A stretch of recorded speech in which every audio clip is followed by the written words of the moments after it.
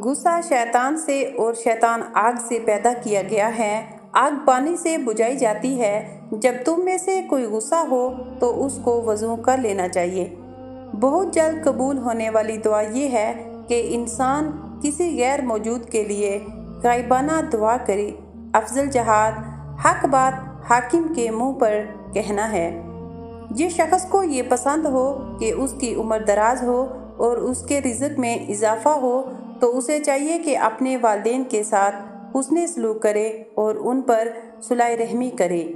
किसी शख्स के दिल में ईमान और हसद इकट्ठे नहीं रह सकते।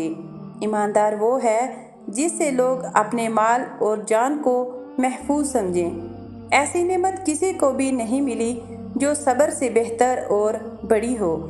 दो आदमियों के दरमियान सुलह करवा देना सदका है। इंसाफ की एक घड़ी सालों की इबादत से बेहतर है। जो शख्स अल्लाह से डरता है, वो बदला नहीं लेता। अपनी कमाई पाक रखो, तुम्हारी दुआएँ ज़रूर कबूल होंगी। खाने का गिरा हुआ टुकड़ा दस्तरखान से उठाकर खाना, औलाद में खूबसूरती, रिजक में बरकत और तकबर ख़त्म कर देता है। एक वक़्त आने वाला है जब लोग नेकी पर शर्म और गुनाह पर फ़ख्र करेंगे। अल्लाह ताला से ऐसी हालत में दुआ किया करो कि तुम कबूलियत का यकीन रखो और ये जान रखो कि अल्लाह ताला गफलत से बड़े दिल से दुआ कबूल नहीं करता। क़यामत के दिन मेरे नज़दीक तरीन वो लोग होंगे जो सबसे बढ़कर मुझ पर दरूद भेजते थे। ये नबी करीम सल्लल्लाहु अलैहि वसल्लम का फरमान है। अल्लाह ताला ऐसे शख्स को अपने अर्श के साय में जगह देगा, जिसने तन्हाई में अल्लाह का ज़िक्र ऐसे किया कि उसके आँसू जारी हो गए।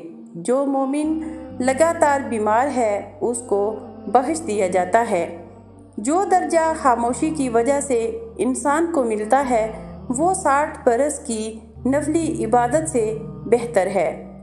सिर्फ़ तीन जगह पर झूठ बोलना जायज़ और हलाल है। नंबर एक आदमी अपनी बीवी से बात करे ताकि उसको राज़ी कर ले। नंबर दो, जंग में झूठ बोलना। नंबर तीन, लोगों के दरमियान सुलह करवाने के लिए झूठ बोलना।